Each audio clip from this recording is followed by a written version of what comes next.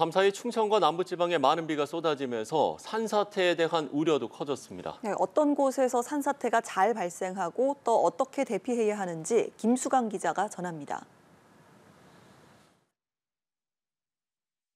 지구 온난화로 인해 집중호우가 빈번해지면서 산사태 피해도 증가하고 있습니다. 최근 10년간 피해 면적은 연평균 258 헥타르로 매해 여의도만한 땅이 피해를 입고 있습니다.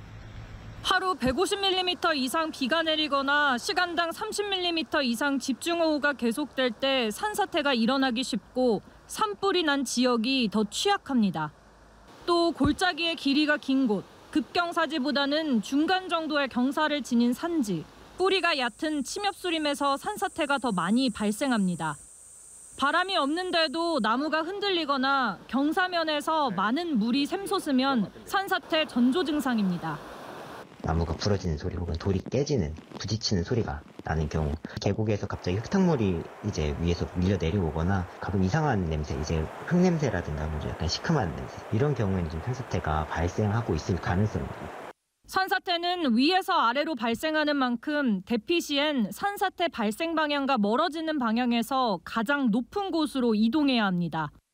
또 산림청 예보에 집중해야 하는데 홈페이지나 스마트폰 어플을 통해서도 산사태 예보 현황을 확인할 수 있습니다.